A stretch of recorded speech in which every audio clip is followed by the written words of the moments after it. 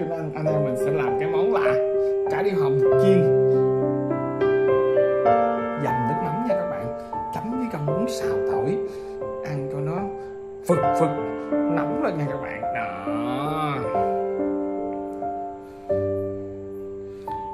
Thì mình sẽ làm cái món này. Mình sẽ mời cô chú anh chị và các bạn ăn cùng anh em mình nha.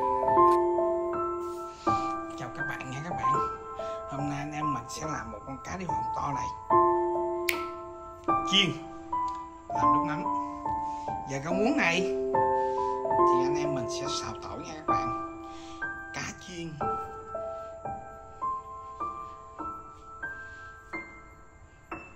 Cá điêu hồng chiên. Ăn với rau muống. Xào tỏi nha các bạn. Đó hai củ gửi tỏi. Đó. Món ăn đơn giản vậy thôi các bạn rồi. Thì anh em mình sẽ tiến hành. Vô việc thôi. Đây các bạn, con cá được mình chiên ục bịch ục bịch ở trên cái bếp rồi nha các bạn. Đấy. bây giờ chú cá được mình chiên ục bịch ục bịch trên chảo, tí chú cá vàng mình đem xuống, làm nước mắm.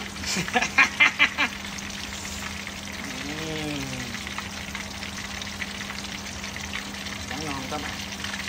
Quá Bá luôn. Đây nha các bạn. Con cá điêu hồng được mình chiên lên nó vàng ơi, là vàng luôn á. Vàng ơi. Đây, còn rau muống thì mình luộc nó xanh mới mỡ nha các bạn. Đó. Các bạn luộc rau muống, các bạn cho một tí muối vô các bạn. Và cho một ít dầu ăn vô nữa. Là nó sẽ xanh lên thôi các bạn? Mình luộc rồi xong rồi mình mới xà mấy à, xào tỏi các bạn. Chứ các bạn mà xào tỏi vô là nó không ngon. Nó không xanh. Đó.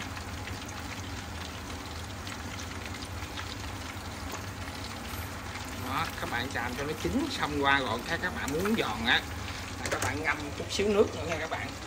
Các bạn vớt ra rồi các bạn ngâm với một nước lạnh chút đó. Cá nè vàng ngon các bạn. Mình làm tí nước mắm cay ra cái nữa hết sảy con bảy nha các bạn. Ờ. Rau muống thì xanh mà cá chiên thì lại vàng. À, mời các bạn ăn. Là hết sảy con bảy nha các bạn.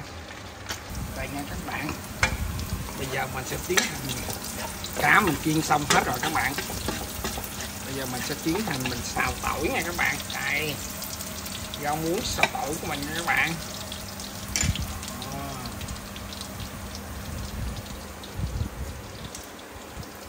Xong. Cho rau muống vô thôi nha các bạn. Đó. bắt đầu là mình nêm muối nữa là ngắt xuống thôi nha các bạn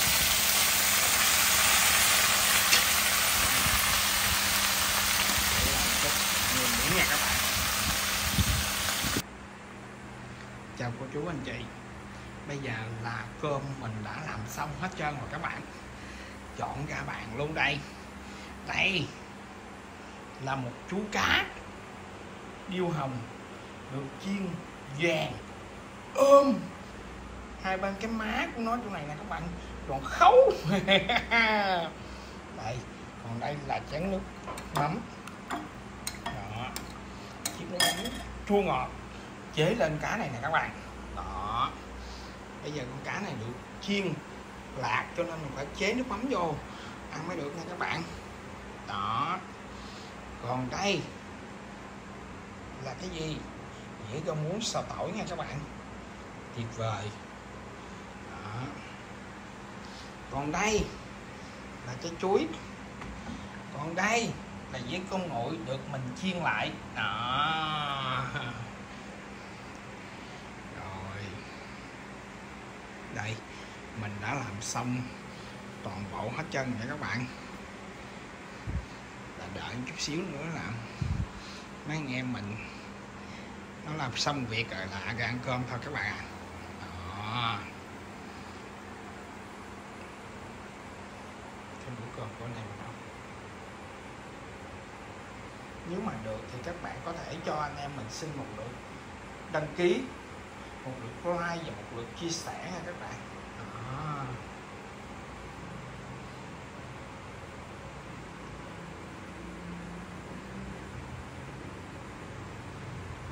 các bạn thấy cũng ok các bạn nhé các bạn tiếp gì với anh em mình? Một lượt đăng ký và một lượt chia sẻ. Thì à, đối với các bạn thì nó không có quan trọng gì hết. Nhưng mà đối với anh em mình là một cái rất là quan trọng các bạn đó. nếu các bạn mà đăng ký rồi like cho mình mình cảm ơn các bạn rất là nhiều nha các bạn. Đó. Chào các bạn nha các bạn. Mời các bạn cơm các bạn Hỏi. đã các bạn chống mùa. Không muốn khảo lỗi nha các bạn.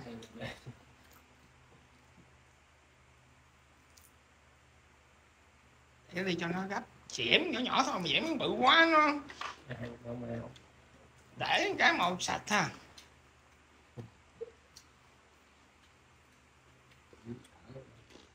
Xương á. Chan nước mắm mình ha.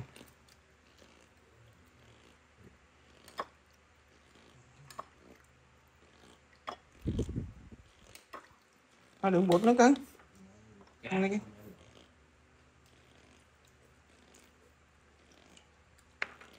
Cái gì chát Chắc đâu có trà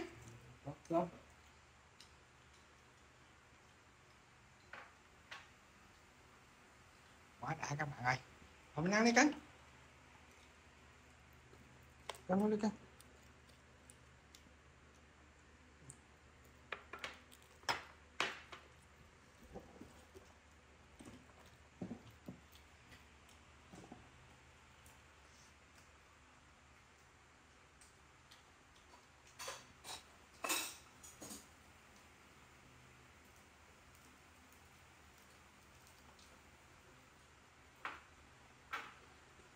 Phải chấm nước mắm cái cái đầu đó các bạn phải chấm nước mắm trong đó kìa. Chấm tô còn á. To quá. Thả nó vô ừ. Việc vô tổ chưa thấm luôn đó mặn cha ơi. Không nước mắm chua mà mà mặn gì cũng tốt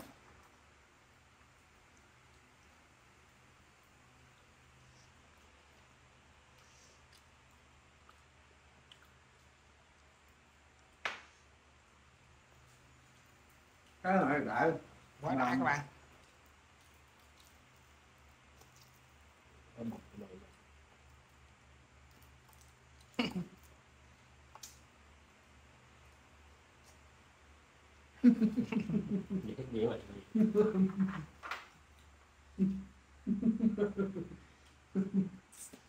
Coi chừng xương á.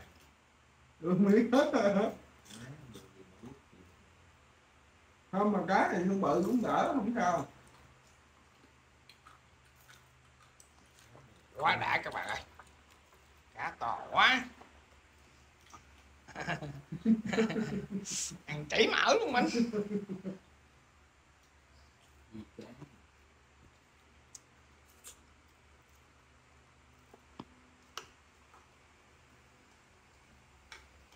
Quá ngon các bạn ơi, cơm đầy đủ hết nha các bạn.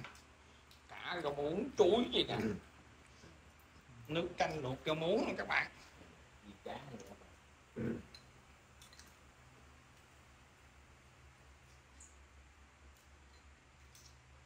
Đấy, các bạn cánh cá các bạn. Ờ, ờ, ờ, đó, khá mình thằng các bạn.